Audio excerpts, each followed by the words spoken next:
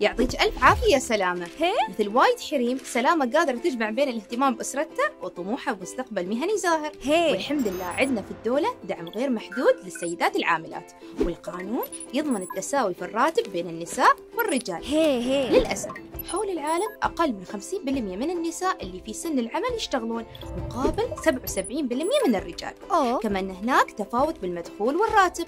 يعني في نفس الوظيفة ونفس المهمات النساء ياخذون راتب بين 10 إلى 30% أقل من الرجال. أوه. والملفت للنظر يا سلامة أن حسب الإحصاءات النساء معرضين أكثر من الرجال للأمراض المهنية مثل الاكتئاب والتوتر وحتى أمراض القلب. وعلى سبيل المثال 63% من الإصابات العضلية في العمل هي للنساء. ها؟ وفي شيء نسميه التعرض المزدوج عند الأمهات العاملات يعني صحتهم تتأثر من ضغوطات العمل وبعد من مسؤولياتهم الكبيرة في الاهتمام بالزوج والأطفال.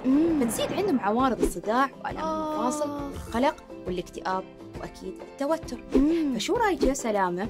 لازم الريايل يساندونا شوي هي والله يعطي العافية لكل العاملين والعاملات وعساكم دوم صحة وسعادة